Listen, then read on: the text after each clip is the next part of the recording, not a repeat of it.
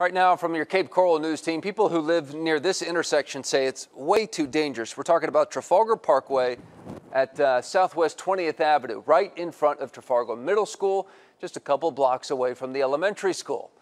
There was a crash there this morning, and Cape Coral police said it was the seventh one at that intersection this year.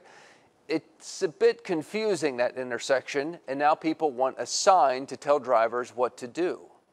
It's just uh, really a busy area, and no one seems to know who should go or, you know, wait. The big concern is there should be a light there. It's a school. I mean, you know, it's uh, you got all these kids walking around, and, and you know, just they're going to get hit. If you would like to request a stop sign on any city road, you can call 311. You can ask the city's transportation division to come out and do a survey for you.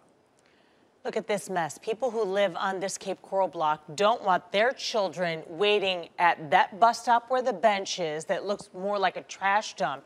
We took this video on Southwest 32nd Terrace in 7th Place this morning. We sent NBC2's Devin Turk there today and wait until you see what it looks like now.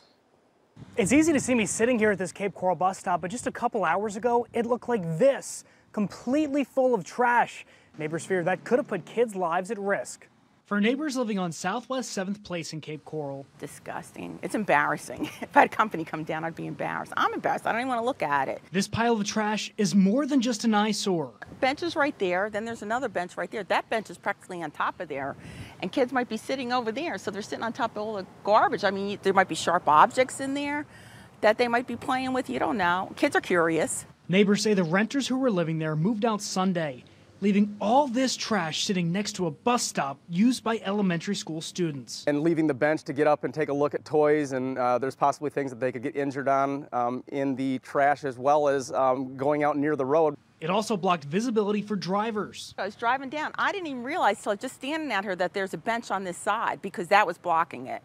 So if there were kids over there standing, you could definitely run into one of them accidentally. I saw food, furniture, even underwear left out. It has to go.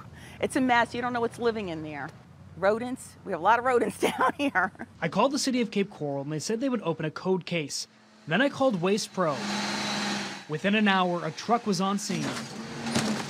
We immediately put our heads together and determined that the best thing to do was to get that stuff picked up right away, even though today wasn't the normally scheduled day. And we cleaned everything up to make sure that the kids were safe.